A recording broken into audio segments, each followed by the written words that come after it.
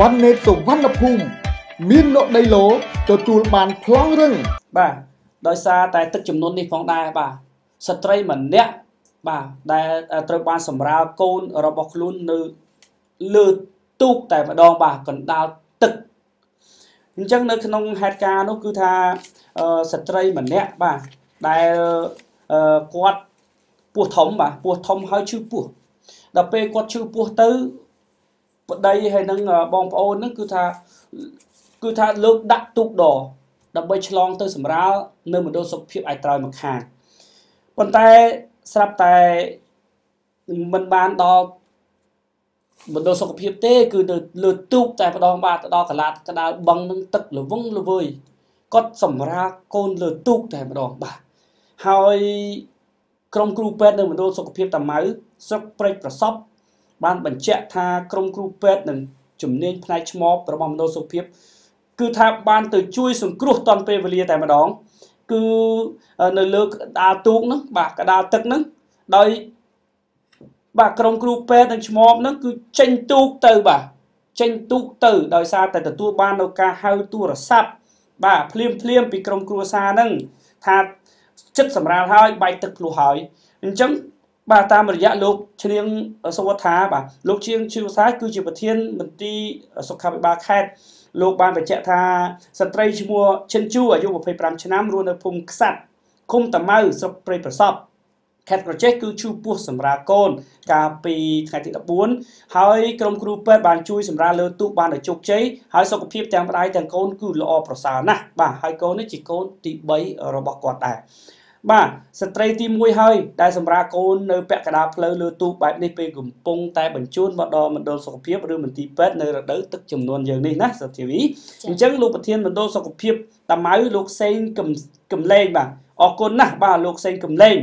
បាទគឺលោកបានរស់រាន់ចាត់តាំងគុំគូពេទ្យបាទពីមណ្ឌលសុខភាពនឹងចេញទូកទៅភ្លាមភ្លាមតែម្ដង បាទនៅពេលដែលទទួលបានការហៅទូរស័ព្ទពីក្រុមគ្រួសារហ្នឹងដោយសារការបារម្ភថានឹងអាចមានគ្រោះថ្នាក់បើសិនជាគ្រូពេទ្យមិនទៅទេ គឺមិនកើតទេមិនអាចមកដល់មណ្ឌលសុខភាពបានទេដូច្នេះចេញទូកទៅភ្លាមបាទសង្គ្រោះបានដោយជោគជ័យនេះហើយគឺជាគុណសម្បត្តិមួយបាទដ៏ធំធេងរបស់ក្រុមគ្រូពេទ្យហើយសូមជម្រាបដែរថាអឺពេលដែលទៅដល់ណា ពេលដែលទៅដល់ទូកនឹងក្រុមគ្រូពេទ្យបានឡើងទៅលើទូកនឹងភ្លាមភ្លាមតែម្ដងបាទជួយសម្រាលកូននឹងបាទគឺកដាលបឹងហ្នឹងណានៅលើកដាលបឹងណាអញ្ចឹងជារឿងមួយគួរឲ្យថាសង្វែកណាបាទសង្វែកប៉ុន្តែក៏គួរឲ្យរីករាយផងដែរដែលកូននេះគឺថាកូនមានប៉ុនណាណាកូនមានប៉ុនណាបាទកូននេះបាទឆ្លង សម្រាលគឺដល់ទលេត្មងនេះគេហៅថាឆ្លងទលេឆ្លងទលេបាទមិនបាច់ឆ្លងផុតទលេទេគឺឆ្លង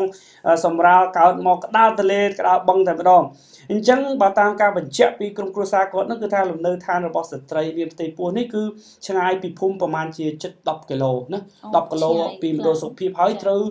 ឆ្លងទូកដកដើម្បីធ្វើដំណើរទៅសម្រាលកូននៅទីនោះអញ្ចឹងតំបន់ដែលគាត់រស់នៅនឹងគឺជន់លិចដោយទឹកចំនួនបាទ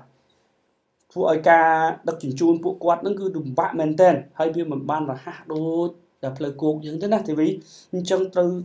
រកទូករកដតម្រងតបានទៅចេញទៅគឺ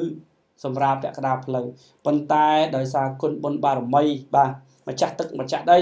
ហើយនឹងគុណឧបការៈដ៏ធំធេងរបស់ក្រុមគ្រូពេទ្យនៅមណ្ឌលសុខភាពបាទគឺថាបាន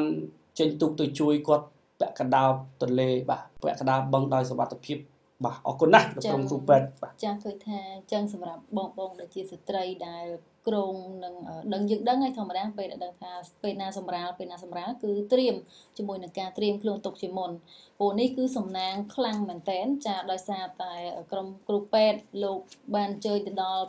តាន់ពេលវេលាដើម្បីធ្វើការសម្រាលហើយកូនក៏បានទទួលនៅសុវត្ថិភាពហើយ គឺប្រការពេលក្រោយក្រោយទៀតសម្រាប់បងបងស្ត្រីដែលត្រៀមក្នុងការឆ្លងទន្លេគឺសូមមេត្តាប្រុងប្រយ័ត្នហើយបើអាចអញ្ជើញទៅសម្រាប់នៅមន្ទីរពេទ្យបានមុនមួយថ្ងៃណាព្រោះអានេះគឺជាអាយុជីវិតយើងចាមិនត្រឹមតែម្ដាយគឺមានកូនហើយគាត់នេះគឺជាកូនទី3ទៀតអញ្ចឹងមិនមែនជាលើកដំបូងទេគឺមានបទពិសោធន៍ច្រើនដងហើយអញ្ចឹងសូមឲ្យបងស្រីបងបង